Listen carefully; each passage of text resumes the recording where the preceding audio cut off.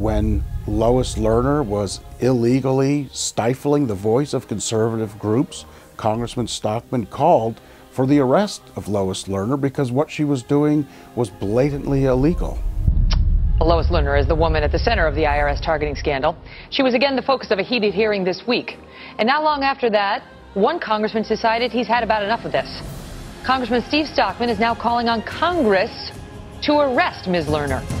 It's a federal crime to use your public office to target Americans for political purposes. Within weeks of Congressman Stockman introducing a resolution that would have identified the Justice Department officials Lois Lerner colluded with to target Tea Party activists, the DOJ's Public Integrity Section started investigating Stockman.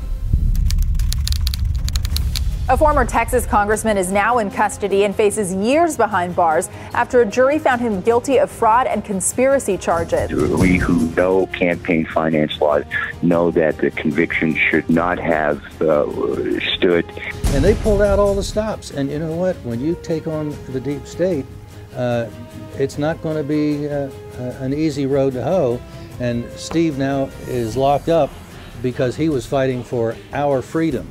The, the opinion really is is is uh, judicial activism. Uh, I want them to know that if the government wants to put you in prison, you will go to prison. It doesn't matter whether you're innocent or not.